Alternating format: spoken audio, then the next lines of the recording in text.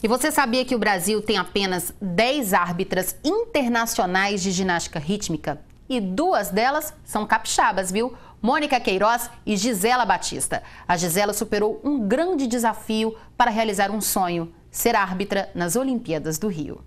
Gisela Batista hoje é treinadora, mas foi exatamente assim como essas meninas que ela começou a carreira na ginástica rítmica aos oito anos. Pé retinho, pé retinho.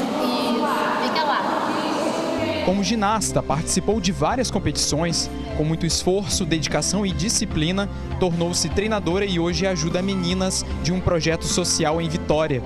A gente faz, é, prepara para competir, para apresentar festivais. Algumas meninas que têm um nível mais elevado, a gente leva para Copa, competições estaduais. Mas quem vê a Gisela assim, disposta, esperando o primeiro filho, que vai se chamar Gabriel, não imagina o susto que ela passou. Em 2007, ela sofreu um AVC, um acidente vascular cerebral, e precisou do apoio da família e de amigos para voltar a falar protagonista de uma história de superação. Mesmo quando os médicos disseram que ela teria poucas chances de voltar a falar, ela superou os próprios limites. Você precisou reaprender a falar. É igualzinho, igual a criança.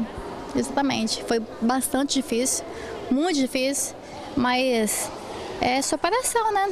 Antigamente não falavam reportagem, faziam uma entrevista. E hoje tem mais cara de pau, mais ou menos para falar.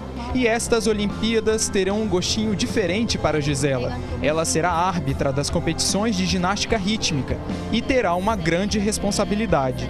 Um momento único mesmo, é aproveitar e ir lá para mim muito mais orgulho mesmo, porque eu vou ver ao vivo, vivo, né, as minhas ginastas que, treinaram comigo, a Manuele e a Franciele. Então, para mim é, é sem palavras assistir isso ao vivo.